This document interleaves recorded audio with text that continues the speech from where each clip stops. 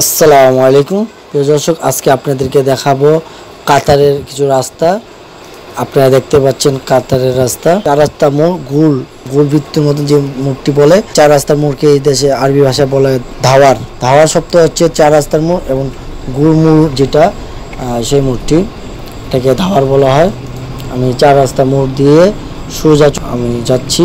দেখতে পাচ্ছেন আর এখানকার হচ্ছে সবসময় বাম দিকে যে গাড়িগুলো থাকবে, তার অর্থ অধিকারটি বেশি থাকে। কাতার বা দুবাই, সৌদি আরবের বামে যেসব গাড়িগুলো থাকবে, তাদের প্রাধান্য থাকে বেশি। তারা স্পিডে প্রচুর স্পিডে চালায়। আর ডানে আপনি আস্তে আস্তে চালাই চালাইতেছিল আপনি ডাইনে চালান, সমস্যা নেই। আমার গাড়িটি একশো বিশ উঠে গেছে, তাই একটা আওয়াজ দিচ্ছে। হয়তো আওয়াজটা শুনতে পাচ্ছেন। আমার গাড়ির গতি এখন বর্তমানে চলছে একশো বিশ, একশো তিরিশ, চল্লিশ। আমি এখন একটি সিঙ্গারে দাঁড়ালাম, এটা চার রাস্তা মোড়। এটা একটা গোল বৃত্তর মতন, এটা ধাওয়ার বলা হয়, আরবি ভাষায় ধাওয়ার বলা হয়। আপনারা দেখতে পাচ্ছেন।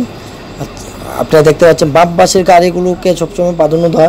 বাম পাশে যদি গাড়ি না থাকে, তখন আমি আমার গাড়ি টান দিব। আচ্ছা এটা তিন লাইনের একটি রাস্তা। দেখতে পাচ্ছেন, আমি যদি বামে চলে যাই তাহলে বামে রাস্তা থাকব, আর আমি যদি সোজা চলে যাই তাহলে মাঝখানে রাস্তা থাকতে হবে আমাকে।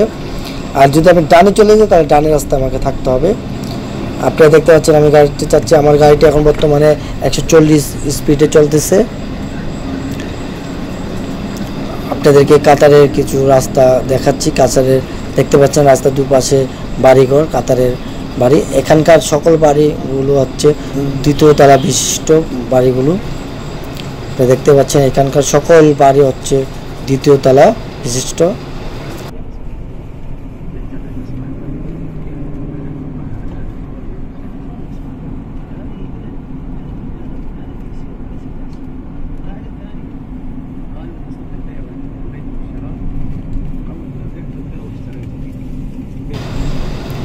আমি এখন আরেকটি ধাওয়ারের দিকে আসলাম।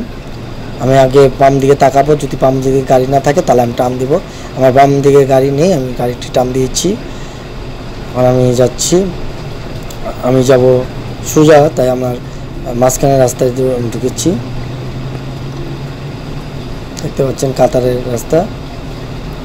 আপনাদেরকে কাতার কিছু রাস্তা দেখালাম।